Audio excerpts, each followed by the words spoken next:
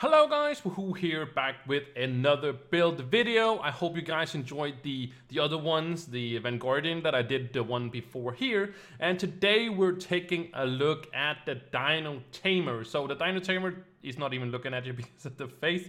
But first of all, the Dino Tamer is magic damage and its main weapon is a gun. It's the one of the two uh, oh sorry, three classes that uses guns. Uh, I'm, I missed mistake, but yeah, but he uses a gun as there, and um, the Dino Tamer is a little bit, uh, you know, does have the um, Dino babies. As I throw one down here, it makes the small Dino babies, and there's three different ones of them.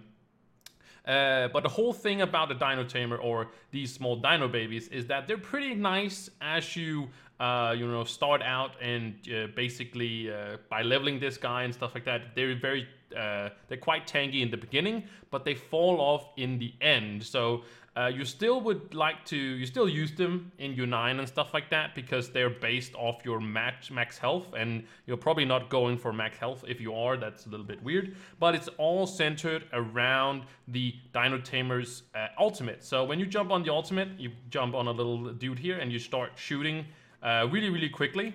So attack speed is very, very awesome for this one. Again, you want to get, try to get, of course, the one, uh, as we talked about in the other ones, you want to try to get a, exactly a 100% crit hit. So you can see I'm way over that. I have to adjust this, and you can also see my critical damage is way, way low, too low. And of course, the magic damage is what it, it basically uses. So uh, the Dino Babies is a thing that you want to use in the beginning, but you want to switch over to, as I said, the ultimate and just have the ultimate going around basically. And that helps, of course, with the uh, ultimate, uh, or sorry, the, the class gem. The class gem does not decrease the cooldown of it, but it extends the duration. So you, it's basically the same thing, just go in the other direction basically but it just makes it uh, a lot better. So it's absolutely required to have the, uh, you know, the class gem uh, to the Dino Tamer for sure. Uh, the other ones doesn't really matter which ones you use. You probably want to use a, a, Battling Berserker as your Cosmic, but uh, it doesn't really matter which ones else you take of these. Uh, some people do a speed build as well, as we uh, talked about in the Vanguardian as well. There, uh, you you want to go for a little bit of tax, uh, sorry, movement speed and stuff like that, because uh, the ultimate does give you movement speed as well. so maybe a pyro disc could be very nice to have here indeed. So uh, going over what uh, other things you should have, you should definitely have yourself a Magic Damage Ring. I have Health Regen because this is not a class I use very often. Uh, here again, you might want to go for some jumps. Uh, jumps is basically the best one you can get for most classes because you can get crit hit every other place and there's not really anything else. If you could get like maybe attack speed here or something like that, that would be awesome. Some classes also look for energy regen and stuff like that, but that's a little bit of a min-max and we'll talk about that when we get to those classes. But as you can see, the uh, Dino Tamer does not use any uh, or require any uh, what's it called energy at all. So energy regen is is basically wasteful on right here.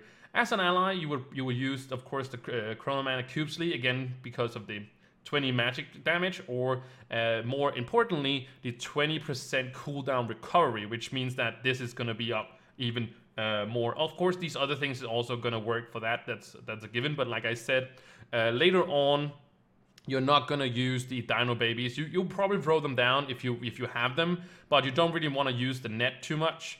Uh, if you do, uh, let's say, um, have some cooldown or you, you not have your ultimate up and you do have the snare, you can fiddle it in when you're doing like, uh, you know, um, shadow towers and such because it does give you a, a nice uh, damage over time debuff. Uh, but I uh, I'm not sure you do have that, but definitely when you have your ultimate up, make sure you shoot always because this is what your most of your damage are going to be. So again, you want to look for attack speed, you want to look for critical damage. You also want to look for movement speed. So if you have movement speed like this one, it's fine. You don't have to go for the attack speed. Uh, but you, you probably want as much attack speed as you can. It, like I said, the movement speed is nice, so you probably want to do that as well. For Flask, uh, Death Defying, as we talked about in the other ones. And here, again, you want to use the Arcane Emblem because of the extra uh, extra magic damage basically. You can also use uh, other depending on what you do. You can, of course you can use the ones that has even more charges or ones that uh, when you crit, for example, if you have 100% crit, there's one that also recovers your stacks every time you crit. Um, it's only 40%, so it's not. Uh, oh, I'm not sure even not sure if it's 40%, but uh, there's only a chance. I don't know what the exactly the number chance is, but it's so first of all, you have to crit- have a critical damage, right? And then secondly, you of course you have to make it recover. But uh, the faster you shoot, of course, the more chance that there is uh, for to get this. Uh, so as for emblems, uh, you probably want to use the Evil Eye or you want to use the Trailblazing. And I'm talking about the Trailblazing is of course for the movement speed. Like I said, some people are using uh, this as also a movement speed, like they do the Ninja and stuff like that. There's also a few other ones you can use. Of course, you don't want to use any that is going to replenish your energy or anything like that. You can use the Unyielding because of the shield.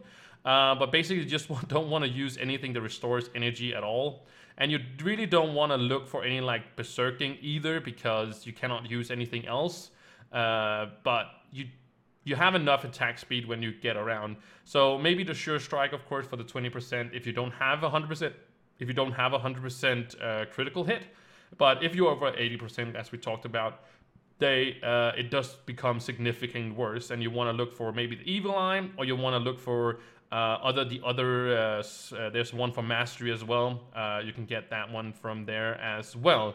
There's also some other ones you can buy and stuff like that. You can also go for the chronomagnetic emblem to even reduce your cooldowns even faster, but um, I think that the cooldown of it can be uh, enough without using this one. But if you haven't, then make sure you use this one. And again, it also depends on the situation, uh, depending on how you farm and stuff like that. Very much like playstyle, basically.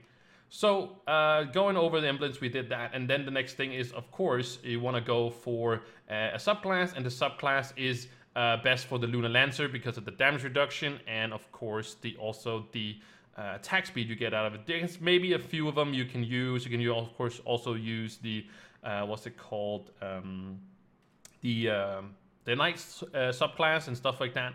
Uh, also, maybe reduced with the, this one. Uh, the I'm not sure which one this is actually is, but uh, yeah, this one you can use as well. Oh, this is the uh, sorry, this is the Dracolyte. Uh, Dracolyte uh, cool. It has cooldown reduction and stuff like that. They have more jumps if you're needing that. There's even more jumps here. Um, but most of them is is pretty uh, meh compared to what it, like this one is. You can also get one if you're missing that last percent crit or something like that. Also, if you just want more critical damage, but 20% is like nothing compared to what you get out of this. Yes, you get 700 physical. Uh, 750 physical damage, but that's not really what you're looking for. You're looking for the buff, and of course, the higher your power rank of your Lunar Lancer is, uh, the more chance there is. But it's like from uh, I think it's power rank uh, 25,000 uh, and down to when it starts basically. When you get this to, you just have to have the Lunar Lancer level 10. Uh, so it doesn't really matter the power rank. It's it the the percentage difference is from 20. It starts on 20 percent and then goes up to uh, 25%. So at 25,000, I think it's 25,000 or I think it's maybe it's 30,000. I cannot remember.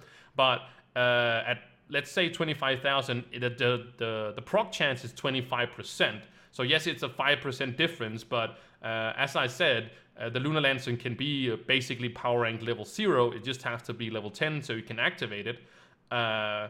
But there's a 5% difference from from that much power rank. So don't go overboard trying to get that extra 5%. If you're playing the Lunar Lancer, of course, that's very nice as a main or something like that, or you've just really like the Lunar Lancer, you can, of course, get this uh, power rank up to uh, the maximum of 25% and have those extra 5%, of course.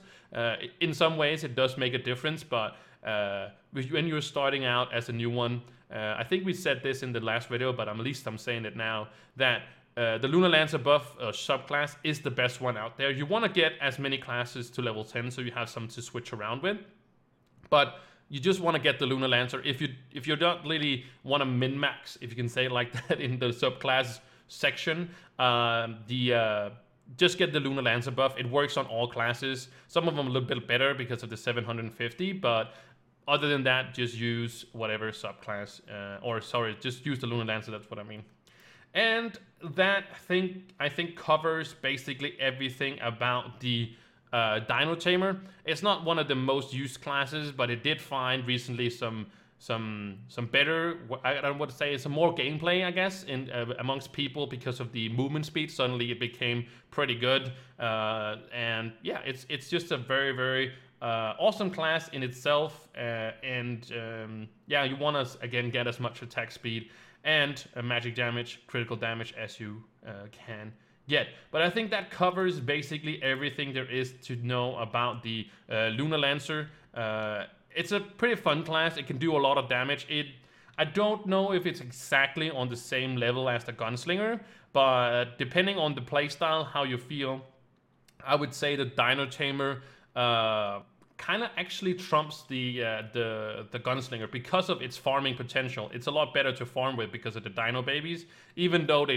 die really fast in U9 and U10, for example. Uh, it, uh, they do provide some kind of utility where the Gunslinger basically doesn't really have much utility other than it does a lot of damage and stuff like that. So uh, the Dino Babies do give a little bit of uh, you know diversity, and the, the, the snare is also pretty cool uh, to slow things down. But I think that covers everything there is to know about the Dino Tamer. If there is some questions you have about the Dino Tamer or other classes in specifically, just put them down there. I like I said, I'm making videos for every single class. I've made the Di the Dracolyte now and also the Vanguardian, and this is the third one. This is of course the the the Dino Tamer, and I'll get all all of them. So if there's one class you're mid, you not really know, but I'm you know you're looking for, it will be in the future. So just hold on to see that. Maybe it's already out. You can go check it out. There should be a playlist you can go through and get the class that you did. But if this guide helped you, make sure you guys like and subscribe, and I thank you so very much for watching this and I really appreciate it. And uh, lastly, I'll just see you in the next one. Bye.